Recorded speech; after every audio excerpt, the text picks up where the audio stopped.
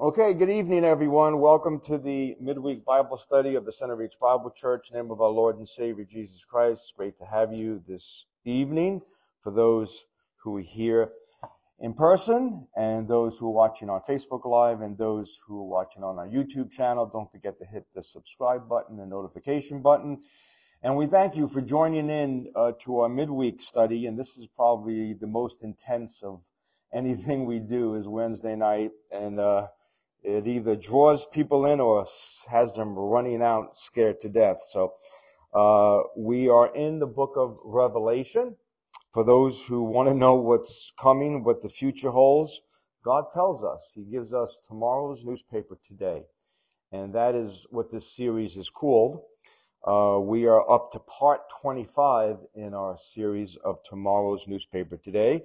We took a poll because we always go through books of the Bible verse by verse. And when we finished the last book, you guys remember what was the last book we finished? How smart you are before this. Song of Solomon, right? That was a lot of fun. That was a great book.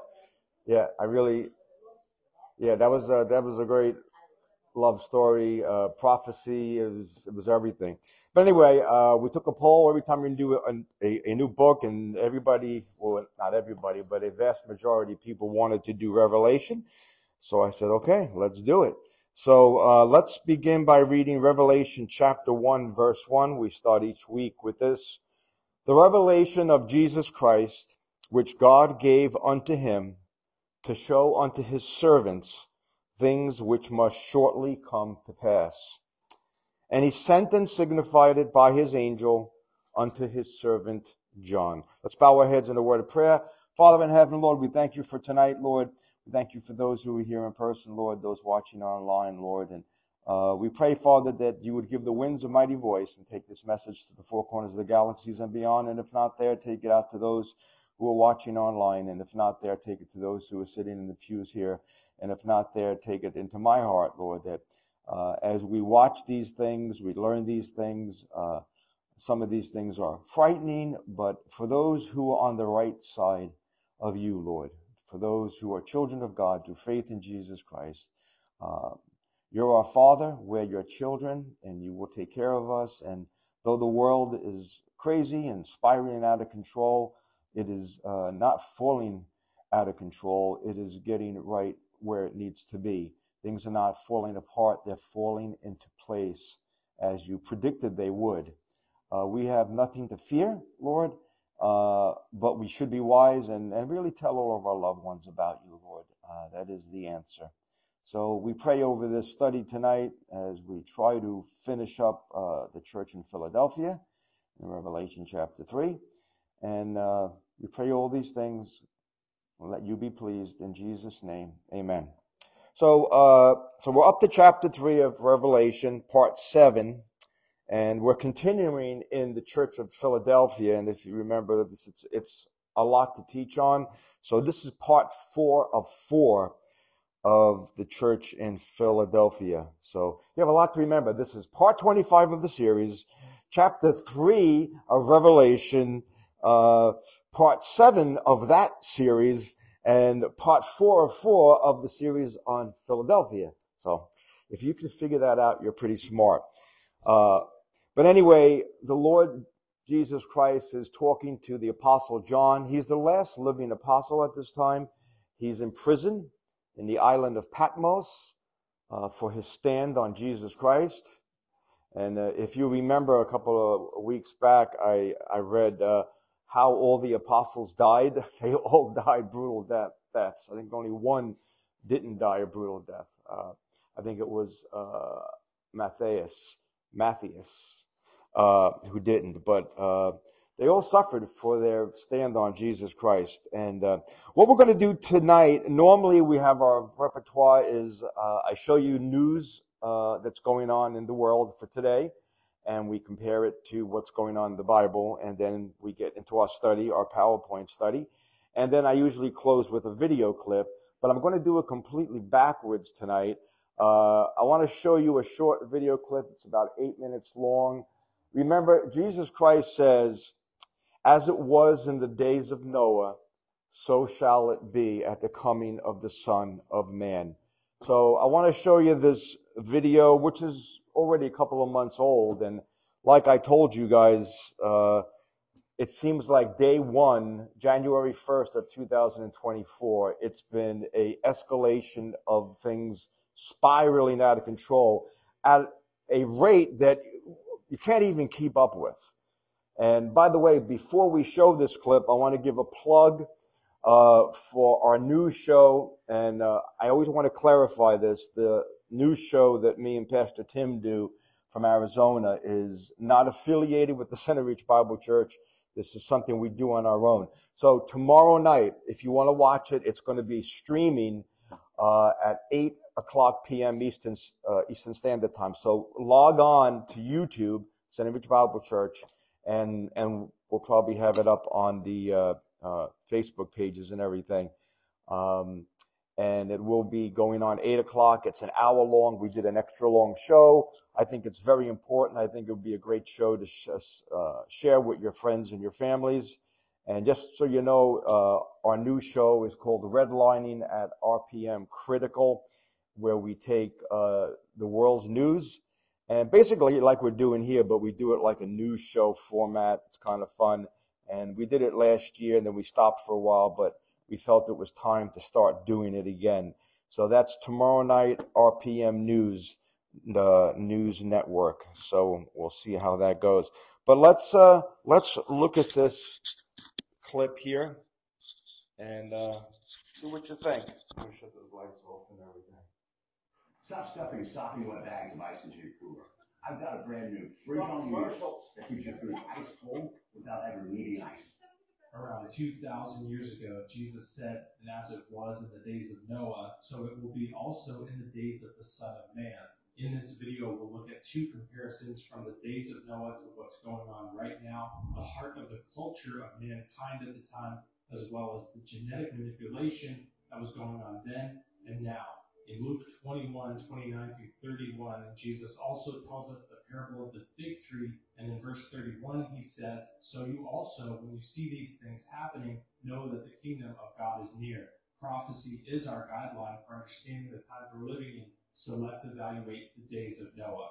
The biblical account of Noah begins in Genesis 6, approximately 1600 years since the creation of Adam and Eve. And as the population of the earth increased from Adam and Eve, also wickedness and evil increased alongside of it. The Lord saw that the wickedness of man was great in the earth, and that every intention of the thoughts of his heart was only evil continually. And it's undeniable that evil is continually increasing in the times we're in. The last days prophecy of 2 Timothy 3 tells us this as well. This may partially be to the fact that we're able to see what is going on around the world every single moment of the day in real time. This also fulfills another prophecy but you, Daniel, shut up the words and seal the book until the time of the end. Many shall run to and fro, and knowledge shall increase. This ability of people running to and fro and knowledge increasing through technology may be one of the leading factors as to why evil is increasing in our time, just as it was in the days of Noah. And as we head towards the end of the month of June or Pride Month, the book of Proverbs has a lot of wisdom in that area, telling us pride goes before destruction Proverbs 16, 18, and in Proverbs 11, 2, when pride comes, then comes disgrace, but the humble is wisdom. In Luke 17, verse 28, Jesus says that likewise as it also was in the days of Lot, referencing the rebellion and pride that was going on in Sodom and Gomorrah, that that would also be a sign of the times. I'd say the culture comparison to the days of Noah and the days of Lot and the times we're living in right now are undeniable in Genesis 6, 9 through 22, we get more of a framework of what was going on in the days of Noah. This is the genealogy of Noah. Noah was a just man, perfect in his generations. Noah walked with God. The earth also was corrupt before God, and the earth was filled with violence. So God looked upon the earth, and indeed it was corrupt for all flesh had corrupted their way on the earth. It's been theorized in Genesis 6 9 that when it says Noah was perfect in his generations, that his bloodline was pure human and not manipulated by the Nephilim of the time. This makes sense to me as to why some of the Old Testament books have lists of names. I never understood the importance of it, but now looking back, God in his wisdom, it makes sense as to one reason would be that anybody who tried to claim that Jesus or his previous bloodline were linked to the Nephilim and just look at the names in the records and see that they were not and that they were perfect in their generations, just like Noah. In Genesis 1 26 through 28, God talks about how he created mankind. And God said, Let us make man in our image and after our likeness. God created Adam in his likeness and then created all the animals, and Adam named them. But just as in the days of Noah, told to us in verse 12 in Genesis 6, that all flesh had corrupted their ways. This is exactly what we saw in Genesis 6 when the Nephilim fallen angels manipulating the genetics of human beings when they mated with women and created giants. Also, in the book of Giants, the apocryphal book, it tells us that the Nephilim also genetically manipulated animals at the time. Human hybrids and animal hybrids, this was going on because of the fallen angels, the Nephilim that were on the earth, and the corruption of all flesh. And what do we see in the headlines of our days? June 16th, 2023, most advanced synthetic human embryos yet sparked controversy. Two teams of scientists have announced that they have grown embryo-like structures made entirely from human stem cells more advanced than any previous efforts. The synthetic embryos developed to a stage equivalent to that of natural embryos about 14 days after fertilization. Both teams allowed their embryo-like structures to self-assemble from human embryonic stem cells, some of which had been converted into cell types resembling the stem cells that from a placenta and the cells that form the yolk sac outside a natural developing embryo. Here's another headline from May 6, 2021. Scientists make embryos that are part human, part monkey. Scientists working in China and the US have successfully grown chimeric embryos that were created by injecting human cells into the embryos of monkeys for a considerable length of time amid ethical concerns. A human animal chimera is a life form that is part human and part animal. Theoretically, it can develop into an animal with both animal and human cells when implanted into the uterus of an animal, or possibly even a human. Now, these are just the headlines of our day, public knowledge. But imagine what's going on around the world in black sites and beyond top secret facilities where they don't have any regulatory oversight you can guarantee that they're doing experiments that are outside of the ethical code that scientists within our countries are supposed to follow. There's also the rumor that the military secret advanced technology is truly about 20 years above what we know publicly at our time. So you can just imagine if this is public knowledge, what is really going on in the secret facilities around the world. Two examples of technology that was created and then later released to the public years down the line is GPS development, which started in 1973, with the first satellite launched in 1978. The U.S. government made it available for civilian use in 1983, but it took a few more years to become developed to be sufficient for that purpose. The second case is in the 1960s when initial development of the internet started. By the early 1980s, it was available to non-military organizations. By the late 1980s, it was in use by universities in various countries, first commercial internet service providers in the US and Australia emerged in the late 1980s. Those are two examples of technology that took 20 to 30 years to be released to the public since their initial development. We don't know the exact day or hour of Jesus' return, but God did give us warning signs and told us to look for them, just as when you see a fig tree coming in season. In Luke 12, 35 through 37, Jesus also reminds us of this saying, Let your waist be girded and your lamps burning, and you yourselves be like men who wait for their master when he will return from the wedding. And when he comes and knocks, they may open to him immediately. Blessed are those servants whom the master, when he comes, will find watching. Assuredly I say to you that he will gird himself and have them sit down to eat, and will come and serve them. In my estimation of the comparison, it's pretty clear to see what it was like in the days of Noah and how those days are coming to a fulfillment in the times we're in. Again, we don't know the day or the hour, but it is important for us to watch and look for them just like we would for the fig tree blooming. And you want to be in right standing with God, following Jesus in the Bible and what it says, and just how it says in Genesis 6 9 that Noah was a just man and that he walked with God. That's how you want to be. So God will create a covenant with you, and you will be on the ark, and God will see you through the times into eternity with him. Let me know in the comments any other comparisons to the days of Noah and the days we're in now. Thanks for watching, and God bless. Okay, so we're going to go. Now that that was from June, and we're going to go to today's news, January uh, thirty first, two thousand and twenty four. Let's see what's going on since then. Okay, got some really crazy stuff going on. Uh, let's drag that down there. Okay. Okay, uh, U.S. is moving nuclear weapons to the United Kingdom. Report the outlet reported that the Pentagon documents confirmed the United States is planning to store nuclear warheads three times more powerful than Hiroshima atomic bomb at the UK airbase. And as we go through all these things, and even as that little video said about playing with DNA strands, I always ask why. Why are, are we doing this? Why are we playing with these things? Why? Why? Is the thing. Okay, uh, terrorist arrested in Minnesota, roamed free for a year after allegedly crossing the border, uh, caught at the U.S. Uh, southern border. It's obviously it's it's a serious problem, people. Uh, let's move up. Uh, this is something that everyone's talking about. 2024 X solar eclipse coincidence or final warning? What's likely to become the biggest travel event during 2024 in America? Some might think it would be the Super Bowl, other sporting events such as Indianapolis 500. However, according to the Washington Post, it will be the solar eclipse that will cross the U.S. on April 8, 2024. This eclipse sparks added interest among prophecy watchers, as we are, as every Christian should be, because of its relationship to another darkening of the sun that occurred on August 21st, 2017. The two eclipses, seven years apart, form an X on America, intersecting a little Egypt, a small town in southern Illinois. Isn't that weird?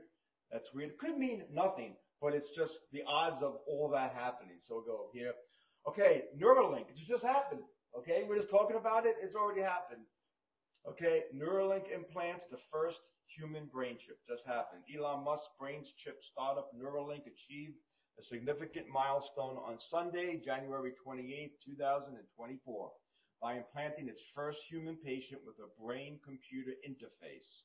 Musk said on Monday the patient is recovering well. Initial results are showing neuron spike detection. Now, what does, what does that mean? You'll be able to wirelessly plug into your computer with your brain. And the idea is that you can live forever because you could actually plug in your soul. You don't need a body anymore you could live vicariously through your computer. And I'm sure they got some other nefarious things that are not going to be good. That's not good, people. It's not good. Okay. Uh, is this going to turn into a civil war? Have you guys been hearing about this? Okay. Texas Lieutenant Governor slams the Biden uh, administration for failing to stop the invasion of migrants and calls them a cartel army. He asked if war could break out between Texas National Guard and Border Patrol. And uh, and just so you know what's going on here, we have we have two parts of our government. We have the state control. You know, states have their own rights, and we have the federal government. Now, Texas. Now, and uh, whether you agree or disagree on any of these things, understand the seriousness here. So the state of Texas is saying we have all these people come on to destroying. I mean, I know you know people who live there. It's bad, and we want to stop them. The federal government says no, you don't. And they say, yes, we do. So what is going to happen is the federal government can send in the army to fight against Americans, to fight against the National Guard who is defending their state. If you have that, you have citizen against citizen. That is civil war. And the many governors across the lower states are siding with the governor uh, the Supreme Court is siding with the president. So you have a standoff now. Are we going to go arrest the governor of Texas and take by force and start shooting at the National Guard, our own people? Scary things. So, and this is going on right now. They don't know which way it's going to go. There's, there's 700,000 truckers going down. As a matter of fact, we're going to get to it's coming up called the Army of God Convoy. Okay, uh, moving on. This stuff, now people want to do what they want to do, but this is really just blasphemous. Forces try transgendering Jesus for Holy Week 2024. So for Easter Resurrection coming, a day coming up, just in time for Easter Holy Week, anti-Christian forces are trying to transgender God's begotten Son, our Lord Jesus, uh, Savior Jesus Christ. The Yahoo headline, Effeminate Christ poster angers Spanish conservatives, should read Effeminate Christ poster hurts and angers Christians world, worldwide, saying that Jesus was a transgender. Okay. Army of God convoy heads to the border. In the U.S., a convoy of truckers, 700,000, calling themselves God's Army, is preparing to embark on a journey from several locations across the lower 48 states to the southern border as tensions soar between Texas and the Biden administration. Meanwhile, across the Atlantic, uh, on the, in United Kingdom and Europe and everything, farmers are breaking down on Europe's capital. They're bearing down. They're having rallies. They're driving tractors. Thousands and thousands of farmers protesting in Europe about all the new uh, laws about climate policy that's destroying the farming industry. These social instabilities are breaking out ahead of key European and U.S. elections this year. Okay, move on. Right here. Political pressure builds on President Biden to strike Iran after U.S. deaths. We have soldiers dead now. American soldiers dead uh, in this war that's not a war.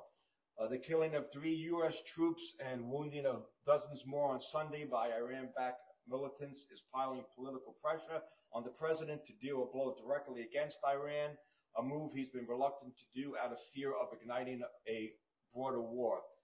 Uh, he left our troops as sitting ducks. So uh, are we going to go to war with Iran as Iran is in war with uh, Pakistan and Russia is at war with Ukraine and China is going to be in war with Taiwan and all these things going on in North Korea and they're all helping each other. So uh, a time of wars and rumors of wars, famines, pestilence, and major natural disasters. We know that from Matthew 24. On some level, most people can feel what is coming. Do you think that? Have you talked to people? Do you see people in the streets? People know something's not right. They just know. Believer, non-believer. This it's just something not right. You can feel it.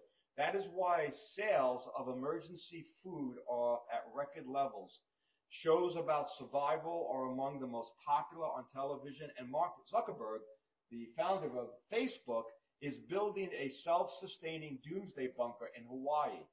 Millions of us realize that we are on the brink of an extremely chaotic chapter in human history. Okay? Above reproach. Uh, and this is the last one. And this is really sad, and I don't blame anyone but Christians for this. Above reproach, fewer Americans see pastors as ethical. Americans have a harder time trusting anyone these days, including pastors. The country's perception of clergy hit a new low in recent Gallup polls, with fewer than a third of Americans rating clergy as highly honest and ethical. You know why? Because they're not honest and ethical. Okay, probably maybe like 5%. It's really a sad thing. Shame on us. Shame on us, shame on us. And with that, there's no, there, we have no credibility. Why should the world listen to us? Because we made ourselves out to be fools.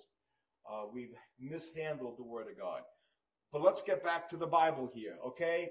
We're in the Church of Philadelphia, Revelation uh, 3 11 through 13. Hopefully, we'll finish this tonight, and then next week we'll show you the historical uh, uh documentary on the Church of Philadelphia. And we're just going to go over a couple of things from last week. The Philadelphian church is the template church the temp- for template Christians.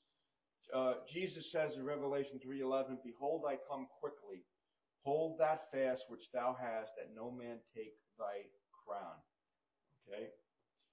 Uh, from the What Does the Future Hold series, uh, this series that we're doing here, it's a series of uh, it's a definitive series on the last book in the Bible, which is the future, a study of interpretation, application. It's a study of hope, study of answers, and a study of why things are happening and why you, if you know Christ as your Lord and Savior, you don't have a thing to be afraid about, but you need to have Christ as your Savior. Please call on Him. Uh, let's see here. Things that we are learn. Well, you're going to learn soon. A couple more weeks, we'll be out of this church segment. Once we get to, uh, well, uh, I think Revelation 4 is that Laodicea. I think we still have a little bit more, but we're going to be getting to 666, uh, the number of the beast, which is the the computer chip thing that you're going to have to have. That's the globalization of identity and everything.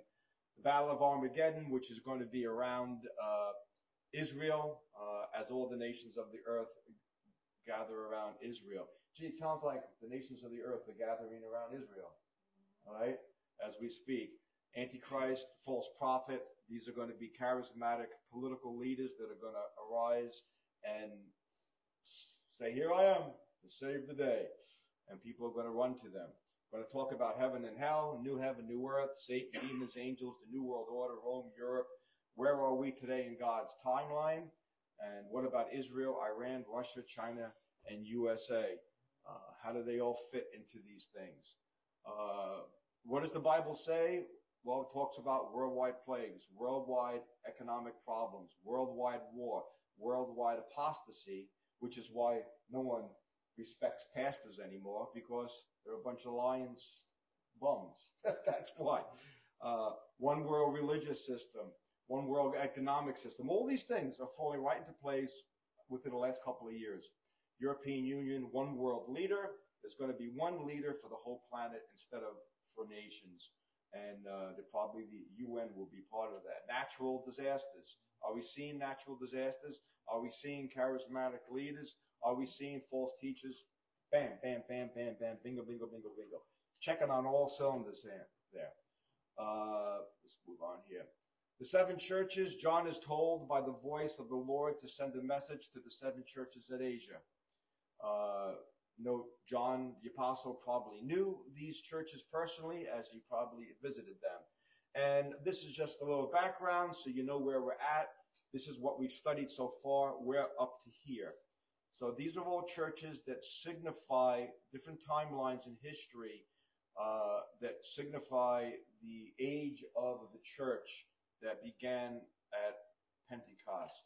Right now, we're studying the Philadelphian church, which is called the Missionary Church, which uh, approximately covers uh, 1750 to the year 1900. And uh, then the last church we're going to cover is the apostate church, which is what we're living in today. This is where we are. It began around the year 1900. I got a question mark because when that ends, we don't know, but probably soon. So church, uh, tonight's church number seven is the Church of Philadelphia. What's the objective? Learn from that old church. Make sure it doesn't happen to our church today. Uh, objective two, how can we learn a life lesson for our personal living today to make us stronger to face uh, to face tomorrow? How can we do that? Well, let's see. Okay. Background. Philadelphia means brotherly love. Uh, it is used here in a different way than in seven other times that is used in the New Testament. Uh, example in Romans 12:10. But here it speaks of the city's founder, uh, we spoke, it's about 28 miles southeast of Sardis, still around today. Uh, Jesus likes this church and people. He says in verse 7, These things saith he that is holy, he that is true, he that has the keys of David, uh, the true one, the holy one, the one who controls all things. Who is that? Jesus. That's who is talking here. Jesus says, I like this church. So tonight, this is part four. Let's uh, move on to the end of this study. Uh, so Jesus says in uh, chapter 3 of Revelation, verse 11, Behold, I come quickly, hold fast which thou hast, that no one take thy crown. So we're going to get into some very heavy things here, and uh, you're going to have to really pay attention uh, because a lot of these things are very cryptic, and we have to do some dissection here. But you can gather from here that Jesus is saying, what's he saying? He comes quickly. Okay. That means it's not going to be a long time. Okay. Uh, always remember the Bible says a day with the Lord is as a thousand years and a thousand years as a day. When he says I come quickly in the whole scheme of time, a thousand years is a blink. It's nothing. Okay. He was telling John to tell the Christians, I come quickly. And then he says, hold fast which you have Hold, what's that? What does it mean hold fast? Hold on to tightly. Tightly. Don't let go of truth because people are going to try to rip it out of your hands. Don't do it. Let no man take your crown. So, what does we say here? Jesus is coming back soon. When he returns, make sure you're caught doing his work and living his life. I can't emphasize that enough. And it seems that everything we've been teaching lately, if you, if you got to hear Sunday morning, we just said it outright out, you know, as clear as day in uh, First Peter, uh, chapter two, verse seven. Uh, the end of all things is at hand. That's what it said. Okay. And what should you be doing? Serving God. What should you do now? What people, what should we be doing? This is a not, this is not a time to be laying around at home, just, you know, just sleeping and doing nothing. There is so much ministry to do. If you got a, you got one leg, then let's hobble on a crutch. Do something. Tell people. Be a light. Uh, this is, you know what? You don't want to get caught with your feet up watching Netflix when the Lord returns. There are so many people who are looking for Jesus. So many people who are hurt. And whose job is it? Every child of God, us to share our faith. You know, we've been quiet for so long, and I was talking to somebody else, and we laughed, and they were saying, you know what, it's time. Everyone's coming out of the closet. You know who needs to come out of the closet? Christians. We need to come out of the closet because we've been hiding. We're so afraid. We're so, we don't want to upset anybody, so we keep our mouths shut. We've got the truth of Jesus Christ, and we are so timid and quiet, we just shut up. And the, is, is the world quiet about what they believe? Are they timid? Are they embarrassed? No. They're right in your face screaming. And we're like, okay, don't want to offend anyone. People, people are, are going to their death to a burning house and we're saying, you know, be careful there. Uh, instead of throwing, giving them the water of life, Jesus Christ. Whether they want it or not, at least we need to tell them. Uh, make sure you don't get discouraged and stop fighting the good fight while here.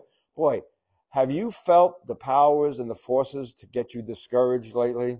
Well, I sure have. I think every day I want to give up and say, that's it, done.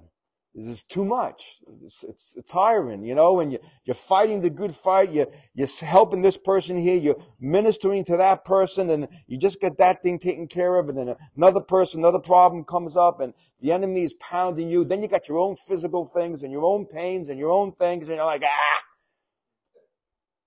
I give up. Let them go to hell, you know, and you can see it happening. And Jesus warns we're going to get tired and we're going to get discouraged and we're going to say, what's the point?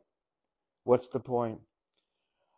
As we have when you walk, if you've ever noticed, and behind our front doors of the church there, when you walk in, we have a sign. This is kind of uh, one of our slogans here. Life is hard, but God is good. I don't pull any punches, people. Life is hard. Okay? I know a lot of churches is selling this party every day thing. It's, it, it's a lie. Because I don't know about you, I ain't living a party every day. Okay? Life is hard. It's difficult. There's setbacks, there's kids, sicknesses, money problems. I, I tell you, people are really struggling out there. I've never seen so many people calling me, Pastor, I need a place to live. I need a place to live. I need an apartment. I need a car. I need this. I need that. I need food. It's just my family's falling apart. I'm getting a divorce. I don't know what to do. I'm losing my kid. He's got caught on drugs. They're just overwhelmed, overwhelmed with so much. They can't handle it. They're snapping. I tell you, people are just, they can't take it. They can't take it. But God is good, people. You got to remember that. He's good. So Jesus says, and well, what does he mean when he says this? Hold that fast which thou hast, that no man take the crown. Important points here. This term crowns means rewards, okay? When you die as a Christian, okay, you're going to get rewards, okay, for the things you've done as you lived in this life in the Spirit. Rewards can be taken away. We, we know that scripture that says, uh, there'll be, uh, some will be tried, uh, you know, by, and by, you'll have your wood, hay, and stubble, and your gold and precious silver. Some of the things uh, we're not going to get rewarded for. And what does that mean? Uh, this is a, a great example of this uh, is let's say you served in church for 20 years and you were the pew cleaner and you polished the pews and everything. You got that job, but you hated it. And, and you were resentful for it. I got to clean these stinking pews every week. Nobody ever says anything. God says, you know what? You get no rewards. Those things that you did for God, that you did in the spirit, you know, because you wanted to. How many people, I don't want to be at church today. When is it time to go home? You know, church attendance is at its lowest uh, uh, level ever. People just don't care. And uh, the people who were sitting there going, when is this going to be over? You get no reward for faithfulness because you didn't want to be there. Okay? Salvation cannot be taken away. Praise God. 2 Timothy 2.13, Romans 8. Though we can never lose our salvation, our rewards in heaven can be less by how we lived here on earth. Okay, this is very interesting uh, and thing here. Okay, so hold that fast which thou hast, that no man take thy crown. What does this mean? It mostly, it's mostly how we deal with people that affects how God rewards us. Okay? How we deal with people. You know why that's important? Because that's the hardest thing to do. What problem? I, I don't have too many, too many problems dealing with my cat or dealing with a dog. I like them. I love animals. They're not a problem. You know? I got a problem with people. They are the hardest thing to deal with. You know, if you look over anybody's life, what's your biggest, I mean, besides life, you have cancer or something. For the most part, the people who come to me for counseling and stuff like that, it's always people problems. I can't stand this person. This person insult me. This person ripped my heart out. This person, I'm mad at them. They're mad at me. Who insulted who? Who said this? Misquoted me. People. Okay? That's, that's a hard one. So God is watching and waiting, and we should do the same knowing that He is. Be patient. Good times are coming for those who believe. That's a promise. And boy, I'm looking forward to some good times. I don't know about you guys, because I'm getting tired of these hard times. I want some good times. Okay. Okay. Verse 12 gets complicated. Okay. He that overcomes will I make a pillar in the temple of my God, and he shall go no more out. And I will write upon him the name of my God and the name of the city of my God, which is the new Jerusalem, which comes down out of heaven from my God, and I will write upon him a new name. Well, what the heck does that mean? Let's see what we got here. Well, let's break it down. 12a. He that overcometh will I make a pillar in the temple of my God, and he shall go no more out. B, and I will write upon him the name of my God, and see the name of the city, my God, which is the new Jerusalem, which comes down from heaven, uh, from my God, and I will write upon him a new name. So let's go. Okay, overcoming sin has a reward. He that overcomes will I make a pillar. Overcometh are those who overcome sin's curse by trusting in the cleansing blood of Christ. Have you trusted in the cleansing blood of Christ? Your sins are forgiven. That's what salvation is. You don't do good deeds to get to heaven or anything. You trust God because what do we need? Forgiveness. Who's the only one who can forgive us? God. How is it done? Through Christ's sacrifice on the cross. So you are an overcomer if you, you're a believer if you trusted in the blood of Christ.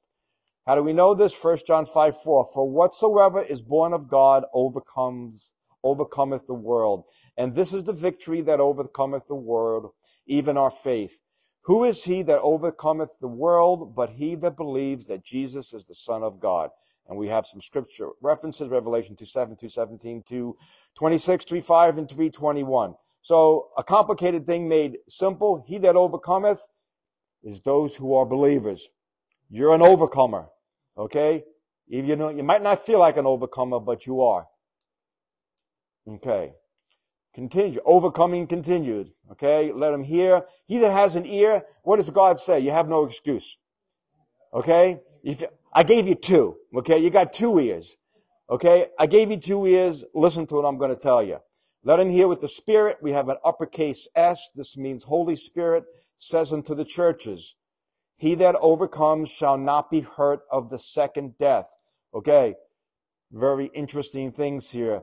And uh, we went over this back when we were in Revelation chapter 2. Uh, what happens to those who, uh, who he that overcomes shall not be hurt of the second death? Well, what is the second death? Lake of fire.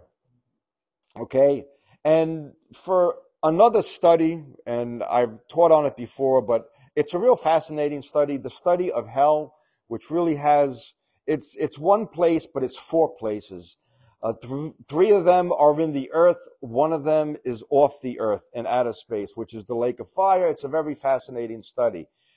Uh, we know this because Revelation 2014 says, "And death and hell were cast into the lake of fire." This is the second death. Hell was cast into the lake of fire.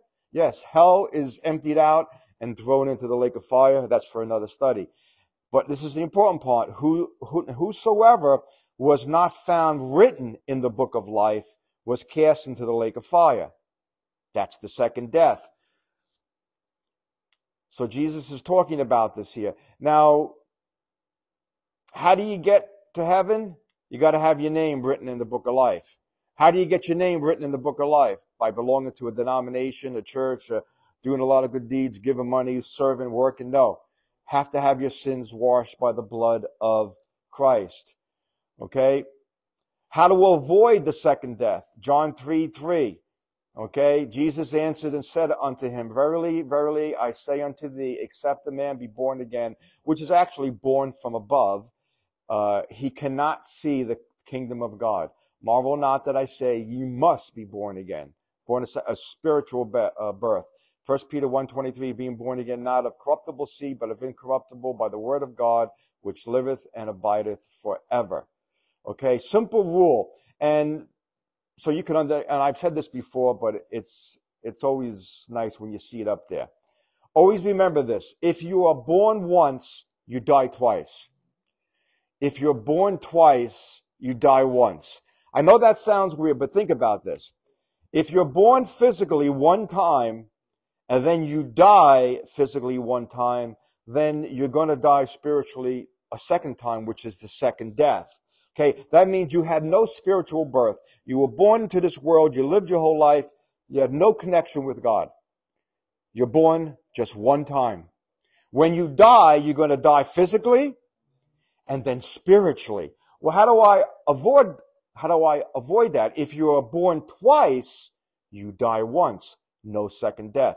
If we're if born once physically and then second spiritually, that's when you say, today's the day I call on Jesus Christ as my Lord and Savior. You're born once physically, you're born second spiritually. What does that mean? When you die, you don't die a second death. You only just die physically.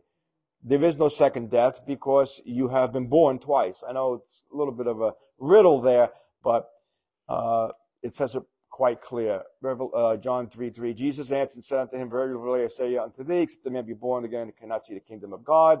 And we know this. Nicodemus, the Jewish guy, says, How, how can you be born again? How can you, can you go into your mother's womb? He's taking it literally and then be born again. No, that ain't going to work. Uh, that is what of, of the spirit is spirit. That is of flesh is flesh. Uh, that which is born of the flesh is flesh. Number one is, is our first birth, and that which is born of the Spirit is spirit our second birth. Marvel not that I say you must be born again. Okay? And I will write upon, so I did all that to explain this. Those who are not affected by the second death, those who are overcomers, those who are believers, Jesus says, I will write upon him, you, me, whoever is a believer, the name of my God. Identification. Okay, it's like your hand stamped. What is going to be written on you? The name of our Savior. Who is He? Jesus. Our new address? Heaven. You're going to have your own distinct name. Faithful and true. Child of God. Okay? That's what sets you apart. You know, today when, when people ask you, well, what are you? What kind of faith do you, you know, what denomination is, I always think it's fun to say, I'm a child of the living God. I go, what? What does that mean? I'm a child of God. You know, Bible believing Christian. They don't know what to make of that. Revelation 2.17, uh, 2.17, to him that overcometh, there's that word again, overcometh means believer, will I give to eat of the hidden manna, and I will give him a white stone. Remember we did that in church on a Sunday morning once. We, we did the white stone, and everybody wrote their name on it. And in the, in the stone, a new name written, which no man knoweth, save he that receiveth. Okay. Uh, Revelation 3:12c, and the name of the city of my God, which is New Jerusalem, which cometh down out of heaven from my God, and I will write upon him my new name. Uh, we'll study, and we'll study that when we get to Revelation 21. New Jerusalem. That you talk about complicated stuff. When we get to the new heaven and new earth and the new Jerusalem coming down from heaven, it's very complicated. It's very bizarre, and that's going to be for another study. Uh, but there is going to be a new heaven and a new earth. It's interesting, you know, the earth is going to be destroyed. God says, I'm going to destroy it completely, burn it up, I'm going to make it all new, brand new, okay, completely restored. Uh, as we chose, as we close the Church of Philadelphia, uh, Revelation 3:13, he that has an ear, let him hear what the Spirit says unto the churches. Okay, next week, the last church, number seven, Revelation 3:14. And unto the angel of the church of the Laodiceans write, These things saith the Amen, the faithful and the true witness, the beginning of the creation of God. Not that God had creation, but when God created everything, before that creation, God already had this written down, okay? And that church that we're going to discuss, that's the most interesting to me. The last one is the Laodicean church because it defines where we are right now in human history. It is called what? What's the nickname? Lukewarm church. It's called the lukewarm church it's a little bit in the world, a little bit in, in, in church. We don't know where we are. Yeah, I like church, but I sure like having a good party too. So let's bring them all together. And we have church service, you know, and that's what the church has become today. Kind of this big circus party thing. And Jesus says the harshest words you're ever going to hear. What does he say? He goes, I vomit you out of my mouth. I, I can't even I spit you out. Okay? Yep. He says, you know what? I'd rather you choose a side than to be lukewarm. I don't know about you guys. There are, you know, I like things cold and some things hot. I like very few things lukewarm, right? Lukewarm coffee, it's like, bah! you know, either make it iced coffee or hot coffee. I don't want lukewarm anything. You know, a person who's lukewarm in love with you. Well, I love you, but I really don't kind of in the middle. I don't want to be in love with someone like that. I want to, you know, I want either love me all the way or don't, and I want nothing to do with you. And God basically says to the church of today, and uh, Revelation 3:20 we'll get to, which we use a lot as a salvation scripture. He says those words, "Behold, I stand at the door and knock." It's a very interesting scripture because he's not talking about he's standing at the door of our heart. He's standing at the door of the church because Jesus has been kicked out of his own church. Jesus is saying, when we get to that, that my own church doesn't want me. We got it, Jesus, because this church, the Laodicean church, has the most money, the most success. They're, they're doing great. They're growing. They're so successful. They figured out all the ways to just have this massive high tech thing that Jesus, we don't even need you anymore. And Jesus is out there going, guys, can I come in and join you? No, no, we got a party going on. You got to stay out there, Jesus. You're going to put a downer on the whole thing. Okay? We don't want to hear any of that word of God stuff. We got a party. And I know I'm being very facetious, people, and sarcastic, but you know what I mean, and you know what's going on out there. And if the apostle Paul was alive today as he was and he would go to visit these churches and write them letters. Remember all the letters that Paul wrote to those churches? Most of them were saying, what are you guys doing? What the heck happened? I left the church. I came back. You guys uh, have are a freak show. Paul was constantly correcting. And I tell you, if the apostle Paul was looking at the churches today, maybe even our church, he'd probably find a whole bunch of things wrong and go, what are you guys doing? How quickly have you drifted away from the truth? I would hope he wouldn't say that, but that's what the last church is going to be. And then after uh, we finish the Laodicean church, then we get into the things that I know you guys really want to get into. Okay, the real end time stuff about the Antichrist and the seven year tribulation, the battle of Armageddon, uh, the attack on Israel, the rapture of the church, the thousand year reign of, of, of Christ, all the wars, the, you know, uh, hail the size like hundred pound hail coming, falling from the sky, earthquakes and volcanoes and meteorites, and it's going to be a, a crazy time. It's going to be a horrible time. And it talks about it, about the mark of the beast, about complete chaos, uh, political leaders. It talks about all those things that are coming. And it's very fascinating. And it even gives us some clues of trying to figure out who's this Antichrist? Who's, who's going to be this world leader?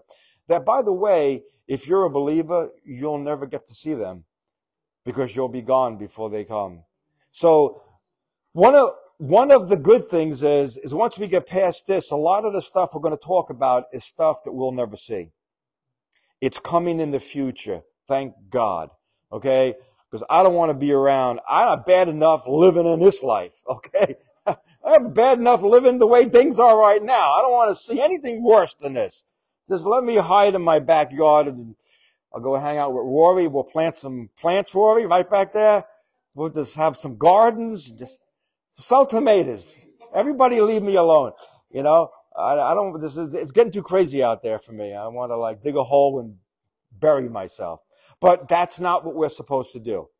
It's, it's, it's going to be very tempting to want to dig a hole and bury ourselves. Okay. And if you listen to our show last night, Life Talk Live, Let's Talk Live, we spoke about the tendency we all have to want to sleep. I'm just going to bed. Just call me when this is over, you know? Going under the covers. I ain't coming out until I hear some good news. And, and more and more people are doing that. You know what? I'm just, you know, sleeping has become our new drug. It's like heroin. You know, it's our escape. I can escape all this darkness and, and to a, to a certain degree, uh, sleep is an escape. It's a drug. That's why, you know, you don't want to get up again. It's interesting. You know, Michael Jackson. Remember Michael Jackson? You know what? He remember he had that doctor who would put him really basically under general anesthesia for like long periods of time and then leave him like that. And why was he like that?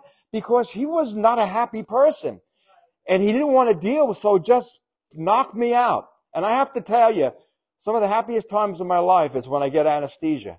I love it. I don't feel anything. I go get my teeth pulled. I always tell them, give me, knock me out. Don't feel a thing. but, uh, you know, it's, who was I talking to, talking to this about? And it was so true. Uh, you know, you think about a child, uh, I was, you know, to maybe let us understand what heaven is like. Because a lot, you know, a lot of people are afraid of dying. As a believer, you shouldn't be afraid of dying. It's, because this isn't the end. We're going to the beginning. And we were talking about when you're a baby in the womb. Now I have, I'm, I'm going to have my first grandchild and I have my grand, my uh, daughter-in-law has a baby. She's in her womb growing. And does that baby want to come out? No. It's the best place to live. You got to do nothing. Everything is provided for you. That's why they're screaming, crying where they come out. They go, get me back in there. You start crying when you come out and you cry for the rest of your life, you know? But you know what? Heaven should be wanting to go back in because going to be with the Lord is going like back into the womb. God's womb, I think, and somebody said this and I say, that's pretty profound that it's kind of like going back into the womb because what's the best place to be? Heaven, people. It really is. What does the Bible say about heaven? No more tears, no more pain, no more sorrow, no more worry, no more sickness, no, no, none of that, you know, and everybody wants to live for this life. And, you know, I don't mean we're supposed to just kill ourselves or anything, but what keeps us going is looking forward to being with our Father one day. Okay? I look forward to it. You know what? And the worse this world gets, the more I look forward to it. You know, I used to look forward to the summer's come, I'm going to do this, I'm going to do that. It's like, ah, I just want to be with God. Uh, this is too rough down here. It's getting rough. And, but while we're here, we have work to do.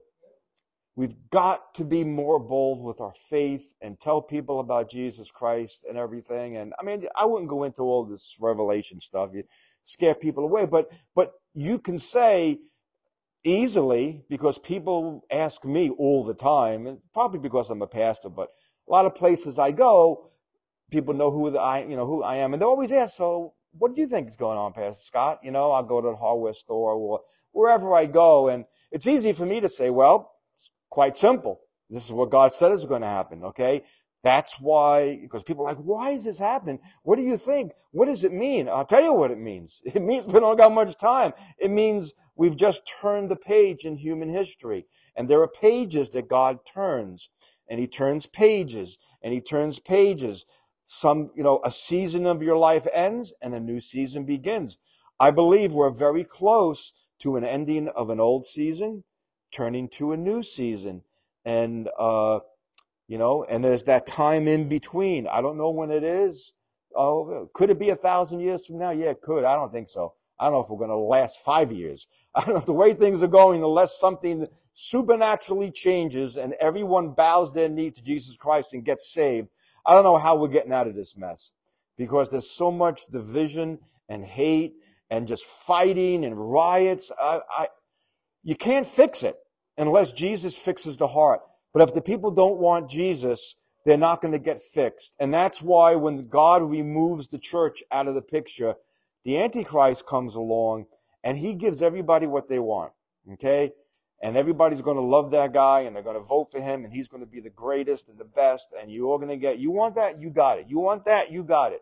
And for the first three and a half years of the tribulation, it's going to be pretty good. No wars, no, going to heal sicknesses and stuff. After those three and a half years is when it gets really, really bad. And then after those three and a half years, uh, the world does come around Israel to destroy it uh, at the at the uh, Battle of Armageddon in the Valley of Megiddo, and Jesus comes down to stop it and says, "That's it. I've had enough with you people." He ends World War III uh, before it begins, but it's just getting ready to start. So, where are we in that time frame? How close? I don't know. Uh, it could be tomorrow. It could be a year from now. It could be a hundred years from now.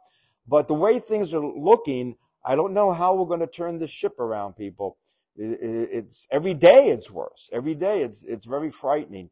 But if your father is Jesus Christ, if your father is your savior, and you've trusted in him, right, nothing can separate us from the love of God, which is in Jesus Christ our Lord. Yes, in this world we're going to have tribulation, but be of good cheer.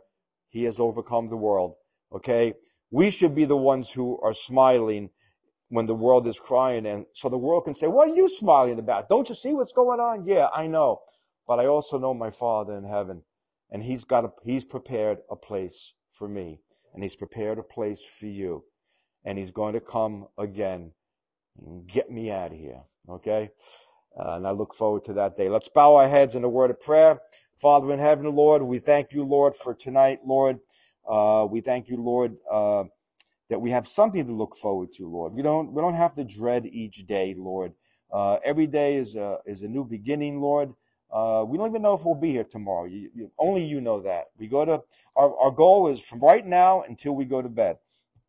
And then tomorrow morning, if you give us that day, then we have a day to serve you, go to work, and and we could enjoy life. We could have fun and and enjoy things and smile. As a matter of fact, we should be enjoying them more than we've ever enjoyed them. And let the world see us enjoying all the beauties of God, all of His wonders, His creation, and and uh, the plants and the animals, and just just marveling at their majesty and and saying, "Wow, God, you're incredible." And let people see us not in fear, but in boldness and confidence knowing that our God is a good God. He does good things, and you've got to know him.